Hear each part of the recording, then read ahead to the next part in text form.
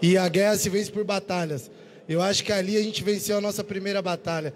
Que aquele vocês, eu acho que ali começou o nosso tricampeonato.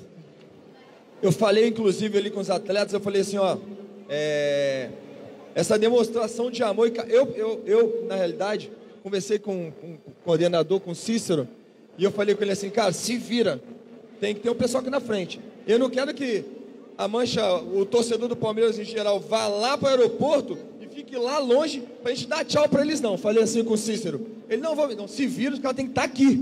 A gente tem que passar na frente. Porque eles fizeram a mesma coisa lá e estão fazendo um carnaval como se já tivesse ganhado. Eu quero aqui também. E aqui, eu principalmente ali na frente, vendo ali, eu estou dando tchau para um, tchau para outro, eu já estou imaginando, eu já estou imaginando eu levantando o troféu. Porque é aquilo, caramba, está todo mundo aqui, rapaz, eu estou imaginando, eu quero voltar, eu quero estar tá todo mundo aqui comemorando, né? E aquilo dali traz a memória, né? O que dá esperança. Porque quando a gente está lá no campo, quando a gente está entrando no campo, eu, por exemplo, quando eu chego no, no estádio, eu não sei se tem filmagem ou não, eu abaixo assim, tem um monte de torcedor, abaixo a minha cabeça e eu começo a chorar. Né? E isso aconteceu comigo muito quando eu jogava na Turquia. Quando eu chegava no estádio, eu via aquele povo apaixonado e caramba, eu chorava. Aí eu chorava quietinho comigo, meu filho. E esse, essa vez eu chorei. Ali eu tive a certeza de que nós seríamos campeões novamente, nós voltaríamos né, com, com esse título. E só para a gente, o senhor Jorge vai fazer a última, só para esse gancho. E dentro do ônibus, qual que foi a reação do, dos demais atletas, Felipe? Como é que foi lá? Todo mundo com o telefone na mão, né? Porque a gente tem uma, uma, uma, alguns garotos ali no clube que não tinha tido a possibilidade de jogar com o torcedor ainda. Aquilo era novo para eles, né? Então o pessoal que não, o pessoal nem o treinador, exatamente. E outro, o treinador, ele está aprendendo o que é trabalhar em clube grande agora. É isso aí. Né? O Abel está numa, numa, numa, tá iniciando a carreira como treinador.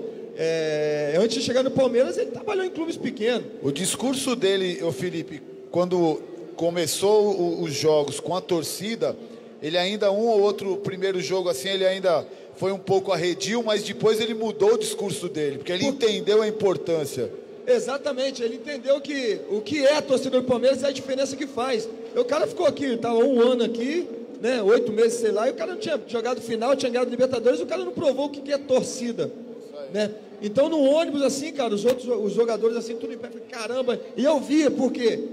Porque a gente tem os meninos hoje que os meninos são muito pra frente, né? O molecada ri, tudo música, e pô, tiraram a música, ficou todo mundo olhando assim, falou, caramba, todo mundo absorveu o que vocês quiseram passar pra gente, entendeu? Aquilo dali foi importante, principalmente para eles que ainda não tinham vivido aquele momento. Vamos subir, Felipe. Sim, nosso vice-presidente, Marcos já está aqui também. Paulinho tá chegando com a bucha do Rio, com a tatuagem. Vai ficar lá embaixo, fora que tá gravado aí. Eu quero estar tá saltando e pulando de vocês.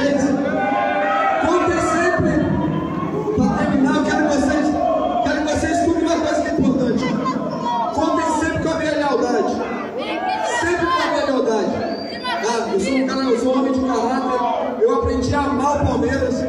E eu quero que vocês sempre contem com a minha lealdade. Jamais vou decepcionar cada um de vocês palmeirenses. Obrigado.